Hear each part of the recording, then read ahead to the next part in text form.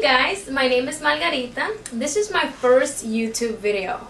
My passion has always been the piano, and I wanted to share with you guys my rendition of Beethoven's Sonata Pathétique.